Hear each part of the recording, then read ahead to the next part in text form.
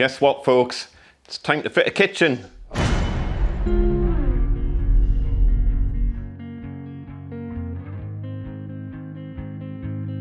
Hiya folks, welcome back to the show. Mrs. Mac has her kitchen fitting whip out and it's time to get our brand new kitchen fitted. I am literally surrounded in boxes and packaging material at the minute and I figured I would take you through my process for fitting a kitchen as per usual, I am not a kitchen fitter, but I have fitted many kitchens over the years, so hopefully you can gain something from this. If not, you can tell us what I'm doing wrongly in the comments below. Distracted looking at blue tits. I'm not going to show you us unpackaging boxes because I don't think that's a very productive use of our time. So we'll get everything unwrapped and checked and I'll come back to you.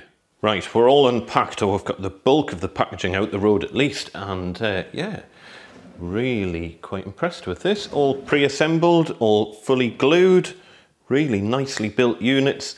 Nice thick back panels on them as well. You can't really see, but it's about, looks like a 12 mil back panel. No, sorry, 9 mil back panel. And then we've also got a um, 18 mil support piece at the top. We have got one box left to unpack here and this is full of goodies. I'm really quite excited to go through this because check out the, the legs. I've never seen beefy legs like that for kitchen units before. They are awesome. Here's the layout that we're working to. So this is the extractor here. That is the extractor. And when you're looking at that side of the kitchen, it's this wall here that we are looking at. Before we do anything though, let's unpack this box of goodies.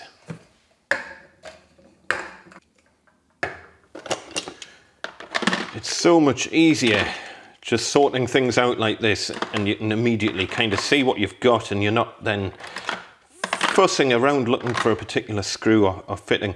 The good news to start off with, I've never fitted one of these particular kitchens before and everything looks really good quality. We've got proper uh, posi drive screws, they're not awful Phillips screws and even the dowels for the cams are posi drive as well, which they should be. One box left to unpack. Technical fitting guide booklet. The big box for technical fitting guide. What's this? Hmm, a tasty little treat. Oh, oh look at that. We've got tea and biscuits, Yorkshire flapjacks. Nice touch. And we've got a technical guide. Good grief. I don't think I've ever bought a kitchen that came with instructions. Impressive. Oh, cool. Okay.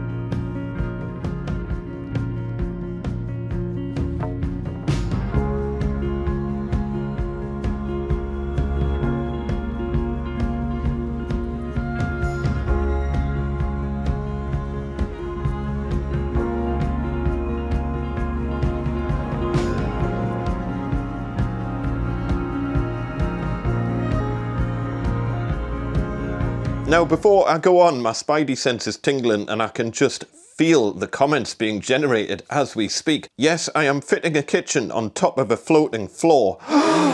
Now, I am doing this because it's my kitchen. If I was doing this for a customer, I probably wouldn't take the gamble. Although, please remember, I am the guy who used to get called out to fix broken kitchens and do all sorts of snagging, and I've worked in thousands of houses over the years, and I have never seen a problem caused by installing a kitchen on top of a floating floor. This is a section of the floor that I'm using, which you may have already seen the video of when I fitted the floor. We do have a full 12 millimeter expansion gap around the entire floor, and you absolutely do need to account for expansion and contraction, especially if you're in an environment that's subject to massive deviations in humidity. Let me give you a very, very quick 101 on the expansion and contraction of wood first of all. Here is a piece of wood. Imagine a piece of wood like a whole bunch of drinking straws. So although you can't really see them if you put a microscope on that end, there are little holes going all the way through the grain of the wood and it generally runs kind of in that direction. So imagine these straws are an enlarged version of what's going on inside here. And the thing is, when these get damp, they swell up and when they dry out, they contract. And that means that wood has a habit of expanding and contracting across the grain. So in really humid environments, the wood will get wider, and in really dry environments, the wood will get narrower. It's one of the biggest reasons for cracks in new build properties because generally when a house is being built, all of the wood gets very, very wet. But then once the house becomes weather tight and you've got the central heating on, over a couple of years, that wood will dry out and it'll contract by a substantial amount. Nothing to worry about, fill the cracks, get on with your life. You don't tend to get this problem with older properties because the wood has already dried out. But trust me, when that house was brand new, you would have had exactly the same cracking and things like that in every piece of timber in the property. So the key takeaway, wood expands across the grain, but it doesn't expand and contract very much along the grain. Does a little bit, so if you're making fine furniture, you still need to think about it, but for most general construction projects, don't worry too much about expansion and contraction in that direction, but do think about it across the grain. Remember the straws. Now, the wood that we've used for our floor is an engineered wood. That means it's based on a plywood substrate. And plywood has lots of layers. You can see the layers here, if we can get the camera to focus on that.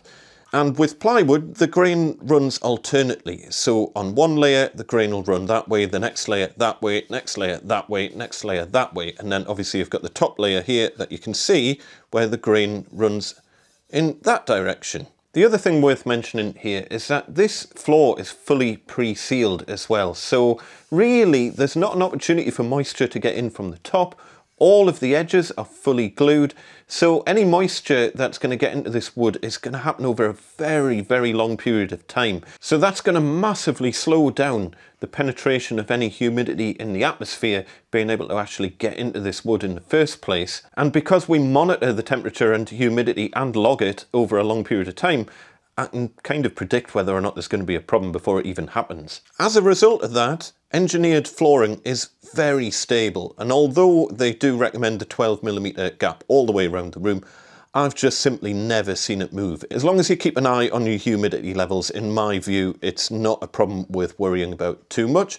Having said that, if you are fitting it for a customer, you need to follow all of the recommended instructions to make sure that you don't have any comeback coming to bite you in the backside later down the line. There are various things that you can do to plan for that if you want to make sure that the kitchen floor sitting on top of this doesn't cause a problem. Personally, I think kitchen legs on a unit sitting on top of this, the wood would be able to move that one or two millimeters of its own accord anyway. There's more than that in terms of play in the plastic legs anyway, so even if the unit above it can't move, the legs would have that play in it. So the legs aren't an issue. Where you might run into problems is where you have to attach things to the floor. What I would generally do is cut a 25 mil hole in this, attach it through into the subfloor below, and just make sure that whatever you're attaching isn't too firmly attached onto your floating floor. And that'll just give you your stability that you need while allowing for effectively 12 and a half millimeters of expansion in any direction. But for the situation that we've got here, I've been keeping a close eye on humidity and temperature. We installed the floor when it was around 55% relative humidity.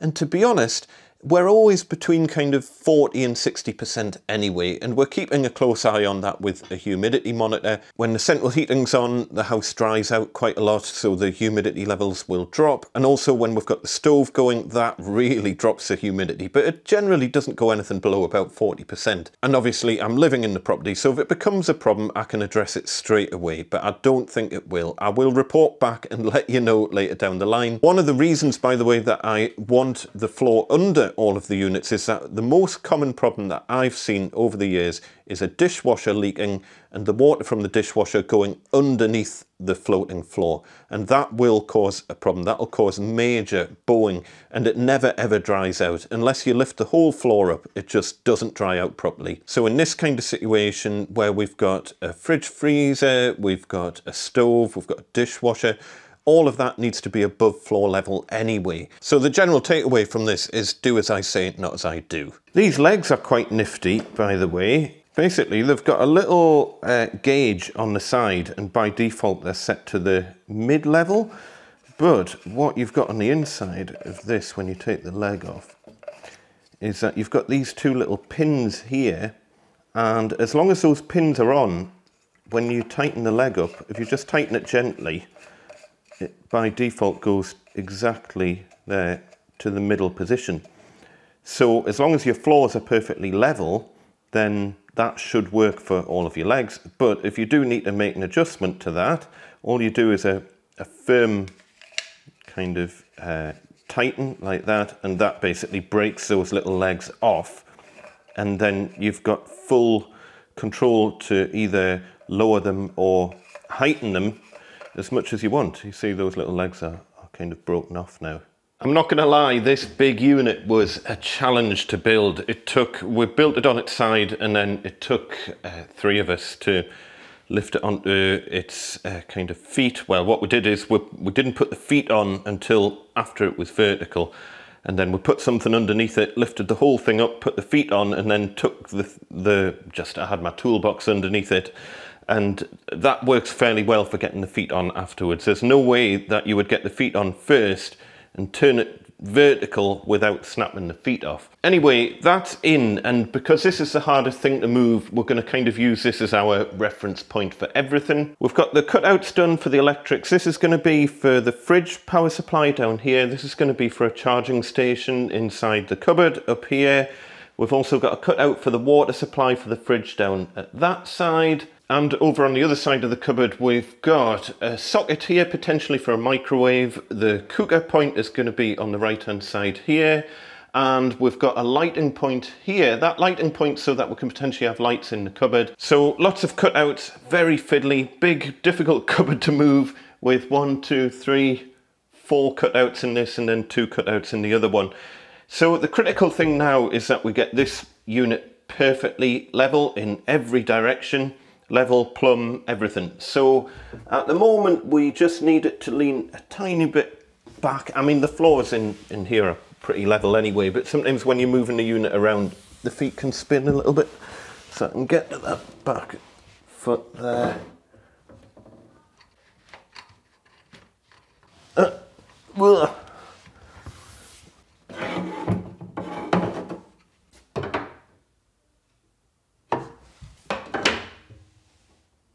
So I'm not going to lie, that took forever to get this unit perfect, but uh, yeah, that is pretty much as good as we can get. This unit has seven legs, so you kind of adjust one thing and it throws another thing out, but uh, we're pretty good with that. So this is going to be our reference point for everything. So I'll quickly match up these ones to that unit, which is relatively straightforward because these have only got four legs each. So we'll align the bottoms first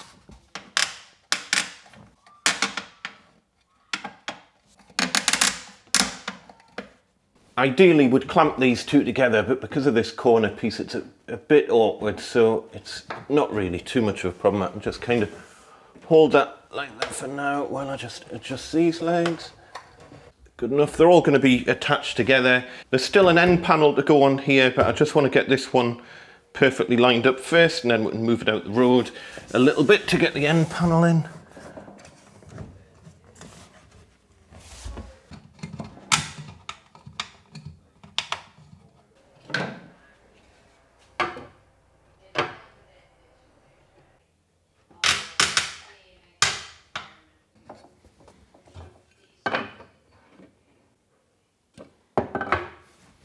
Happy with all that. So time to get the laser out, uh, find somewhere to put it. I think I'll probably just shove it on the back of the fridge there.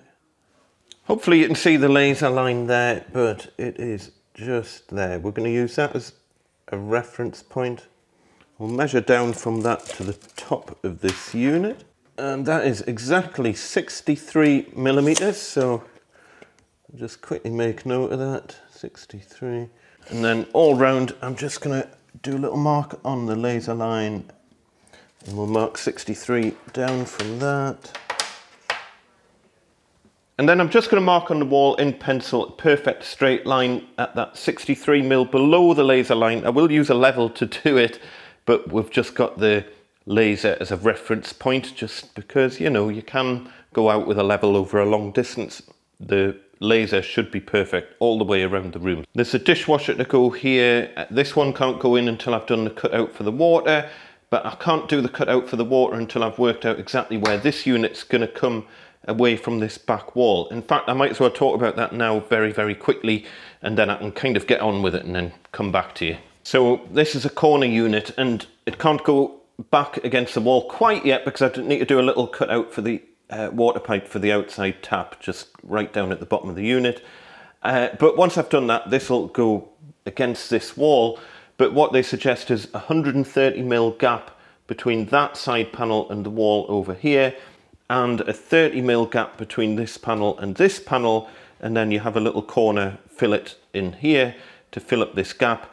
This bit comes off, you just move it along a bit and then you reattach it. If you don't do that, then when you open your drawers, then your drawers will hit your handles of this cupboard. So it's really important that you've got a gap here and an appropriate gap at the back here, otherwise this door wouldn't be able to open. But yeah, in a nutshell, that's how corner units work. A little bit further on now, and story so far, things are progressing well, although I'm sure we're missing an end panel. We'll come back to that. We did order three end panels, we only seem to have two, which is unusual. Anyway, everything is kind of dry fitted. Most of the cutouts needed for utilities are done. Units that can be clamped together are clamped together. Obviously, we've got nothing here because this is where the dishwasher is going. But there's a lot of things that you have to get right at this stage, otherwise it'll make life very awkward later down the line. One of the other things that's worth doing on a run like this, where we've got a gap in the middle, we've, we haven't really got a reference point. So what I've done is run a string line from the corner of this unit all the way up to the corner of this unit, because the walls aren't necessarily perfectly straight and that just allows us to get everything in a kind of a plane, in a perfect line. So these units are perfectly aligned with this unit here.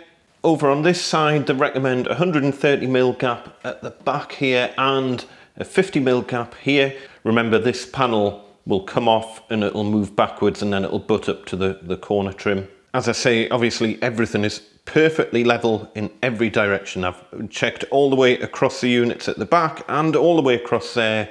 These are all absolutely as bob on as you can get. And then the other thing is to get your spacing for the dishwasher correct. This has to be 600 mil exactly. If you don't get that exactly right, it's going to cause problems getting your door alignment correct later down the line. We've got a whole load of end panels to fit. So this needs an end panel that'll go all the way down to the floor and this will need an end panel down to the floor and that'll need an end panel down to the floor as well and then that kind of frames in where the range is going to be going. I still need to fit the top box for the fridge but obviously that needs an end panel on this far side to support it otherwise it's just kind of hanging about in the breeze. I can clamp it onto this unit but the end panel is probably going to need scribe to the wall so I'll probably put some sort of temporary support underneath it to hold it while I get the end panel in place so that I can do the scribe and then we can put that in, that'll hold it all together. So I'm not going to tackle that yet.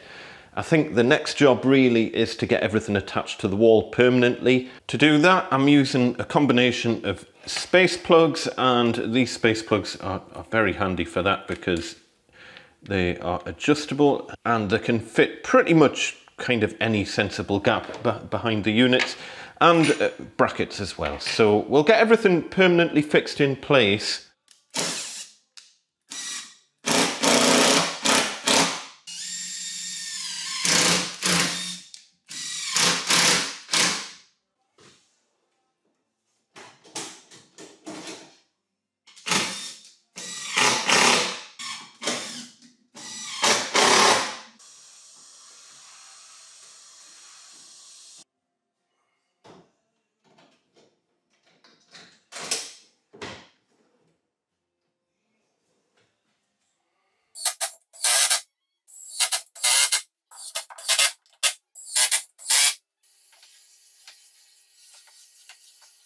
Right, we are up to a whole a lot of scribing and this is where the skill of a kitchen fitter really comes into their own. Anyone who says, oh, anyone can fit a kitchen, yeah, right, until you start scribing everything, you find out how difficult this actually is.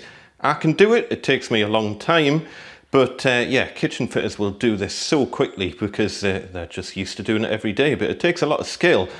I haven't got time to make an in-depth scribing tutorial in this video and I'm sure other people have done much better ones than I would make anyway.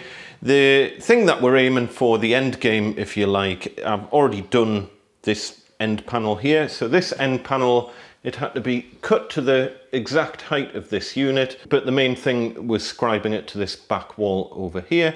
So that's ultimately what we're aiming for. So we've got this one to do here, which um, I'll not do that one yet. Uh, this big back one is pretty much done. I just need to cut it to height. But the one I want to show you is this one here. I'm just going to talk about very, very briefly. So all I've done is I've clamped the end panel onto the unit and I've made sure that we've got the same gap all the way down. So I think we've got, off the top of my head, a 70 mil gap, whatever. So it's the gap from there to there is exactly the same at the top as it is at the bottom. And then I've just grabbed a door and I've put a mark on the end panel the thickness of the door. So if you imagine the door is going to come out to that line there.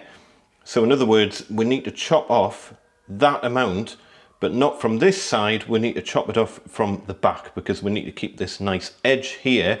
And ultimately it's the back edge that needs to follow the plaster, which is never straight. So lots of ways you can do this, but the way I do it is I just get a pair of compasses. You need a sort that can lock in position and preferably not this sort that's bendy. So you just have to be careful not to bend it. And all I'm gonna do is I'm gonna put that side there on that line and the lead on the edge of the door. So that's basically what we're taking off and then we'll just go around to the back edge and we just follow the wall. So you can see I've already marked it, but we just follow the wall down like that. As you can see, not much needs taken off. It's just a little bit at that top, to be honest. And we also need to cut around these pipes at the bottom. So all I'm going to do is come around like that and make sure we've got a nice clear mark. I don't need to be like mega accurate. The fridge is going to be here, so you're not going to see it but there we go. We've got our marks on there. And then all I do is I cut that with the jigsaw. We're going to have to cut from the top so it'll be a clean cut blade.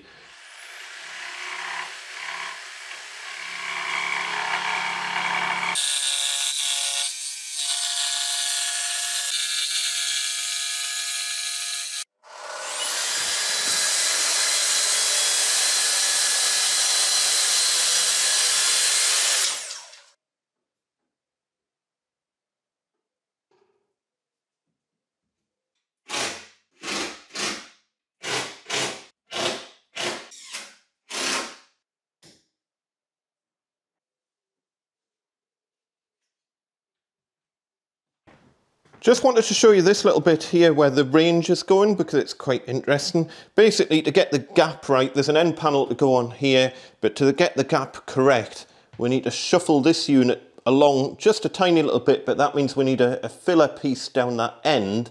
So we might as well get that filler piece put in now, and then we'll do the scribe of the end panel for this unit, basically because this filler piece is gonna set the distance. So I've moved this unit along this little bit. Uh, all of this is fixed in. I still need to attach this tall right hand bit in, but it's pretty much ready to go. But all we need to do is just measure this gap here and take off about three millimeters to allow for a gap down that side. So we are looking at 31, so 28 mil down that edge. So basically one of these little filler strips needs trimmed down to 28 mil. So table saws are all set up and uh, we're at a point in the build where my big kind of rip blade, of the 40 tooth rip blade I've taken off this and I've now put the 60 tooth blade on because it gives a, a much finer cut for this sort of slightly more intricate work. I do generally prefer the 60 tooth blade but when you're doing a lot of like rip cuts of great big bits of wet wood and things like that, um, the, the 40 tooth tends to work a little bit better for that. But anyway, we're on to this. 28 mil. There's a 30, 28. There we go. That's the kind of cut you can expect from the 60 tooth blade. So that'll just go in that little gap like that, which I will do very shortly. So for fixing the end panels, all I've done is I've drilled through this base unit. Um, I've drilled through from the inside to the outside because any blowout's going to be covered up by the panel, so blowout doesn't really matter on that side. And because these ones, uh, or this one particularly, I have had to scribe it very, very slightly to the floor and I don't like leaving a cut edge like this on the floor. So all I'm using is uh, yacht varnish, which is what I happen to have kicking about, but I'm just using it to seal the bottom. Normally you would use like a primer or something, but the disadvantage of a primer is obviously then you could end up marking your floor when you put the board in.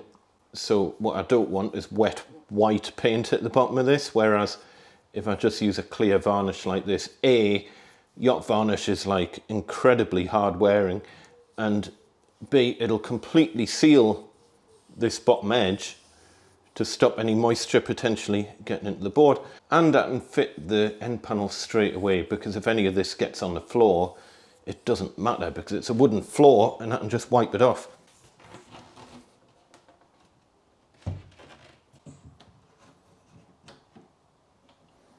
I am running very short on 30 mil screws.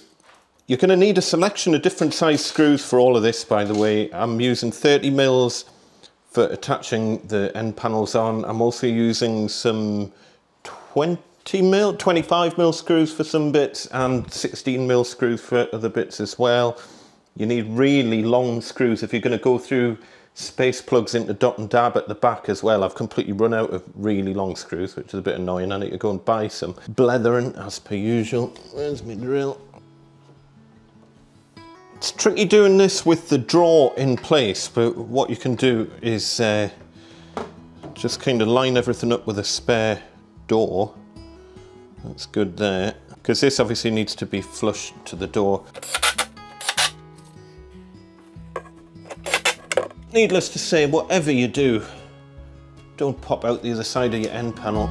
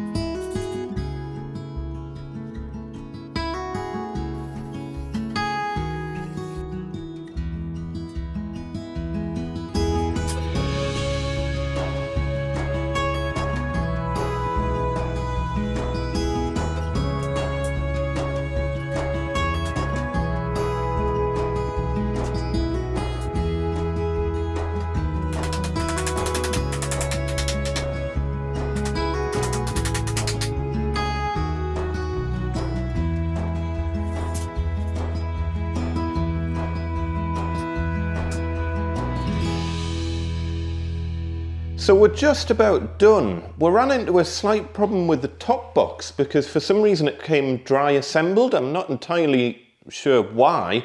We didn't find out until we had it above our heads and the whole thing nearly fell to bits. If anyone knows why that would come dry assembled, please let us know in the comments below because there was literally no glue in the joints, but it was obviously deliberately done that way.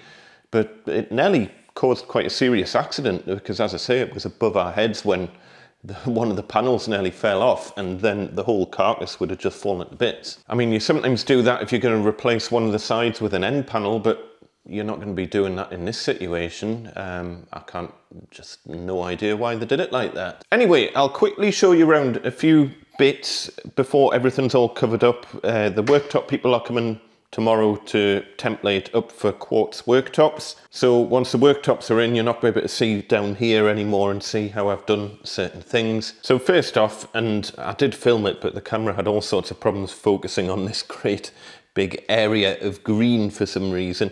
But this end panel is just held on with uh, brackets at the top and over there, and there's another one at the front here, and then there's brackets into the floor right at the bottom as well. So this end panel is absolutely solid and not going anywhere. As I say, we're missing the end panel for that and it'll not be getting sent out for a couple of weeks because it has to be custom made. The plinths are all cut and they're kind of just temporarily in. They're not clipped in quite yet because uh, there's a few other little bits and pieces I want to do behind the scenes. Sorry, I've got all the leftover bits of uh, cornice and, and things up here at the minute. You can see what I've done here on this corner joint. This is just to maintain this gap here so that this kind of doesn't move and you end up with a weird gap down that edge. So we've got a space plug screwed all the way through between the two units there. At the back, it's, um, as I say, I mentioned earlier, brackets and space plugs. So we've got a great big bracket through there. Space plugs at the back here. Bearing in mind, once the worktops are on this, it can't go anywhere. It's mainly to keep everything nice and solid while the worktops are installed. And then all the way around here, we've got obviously our dishwasher gap here and similar story here. Space plug just to maintain this gap here for the little uh, corner post. Again, this unit's held in with space plugs screwed through behind the drawers and same with this unit over here. Giant corner unit we've already talked about and we've got the top box all installed as well.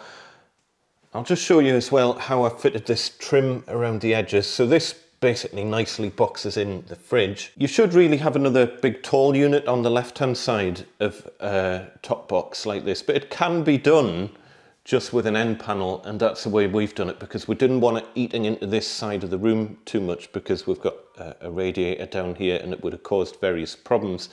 So we've done it just with an end panel on the end and it nicely houses in the fridge. It does mean we have to provide a bit of extra support for the end panel, which is just with brackets all down the wall side and then it's just fixed into the floor at the bottom there and it's not going anywhere. That's absolutely solid. It's a bit dark in here, so hopefully you can see, but in terms of the trims for the fridge housing, these are just held in with these little, I call them Conti brackets, but uh, I can't remember the official name of them. I've always called them Conti brackets. I think that's who originally made them. So they just hold in the little side strip all the way down that edge. I still need to run in the water supply and I think I might make a separate video about that. There's a few things where I'm going to make, rather than this video being even longer than it already is, I'll make a separate video about all the remaining little bits that need to be done.